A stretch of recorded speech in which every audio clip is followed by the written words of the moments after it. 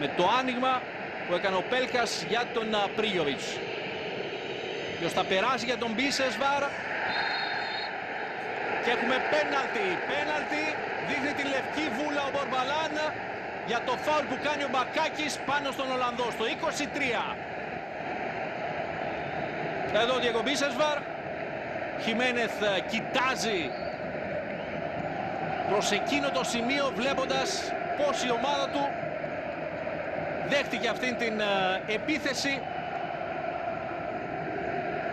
από την κάθετη πάσα του Αλεξάνδρ Πρίγιοβιτς. Κινείται πιο γρήγορα ο Μπίσεσβαρ παίρνει θέση σε σχέση με τον Μπακάκη. Αυτός βρίσκει το αριστερό πόδι του αντιπάλου του Μπορμπαλάν. Δεν είχε και μεγάλη αμφιβολία στο να δείξει την λευκή βούλα. Ξανά η φάση. Η αντίδραση του Μπακάκη. Την Μπάρκα στο 24 ετοιμάζεται να εκτελέσει. Μπορμπαλάν δείχνει στον Μπάρκα ότι πρέπει να μείνει στη γραμμή. Μπορεί να κινείται βεβαίως παράλληλα. Αναμένεται το σφύριγμά του για να εκτελέσει ο Πρίγιοβιτς. Στο 25 μεγάλη ευκαιρία για τον Πάοκ. Εκτελεί ο Πρίγιοβιτς. Διώχνει ο Μπάρκας εντυπωσιακή απόκρουση από τον Βασίλη Μπάρκα που κρατάει το 0 πέφτοντας στην αριστερή του γωνία με το αριστερό χέρι αρνείται το γκολ στον επιθετικό του ΠΑΟΚ.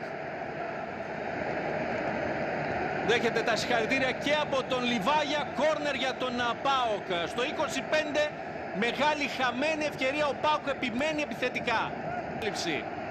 Δείτε πως θα πέσει με το αριστερό χέρι, εκτινάσεται και διώχνει την μπάλα σε κόρνερ. Δαγκώνει τη φανέλα του ο Πρίγιοβιτς. Ο Πάουκ χάνει την μεγάλη ευκαιρία να ανοίξει το σκορ στο 25.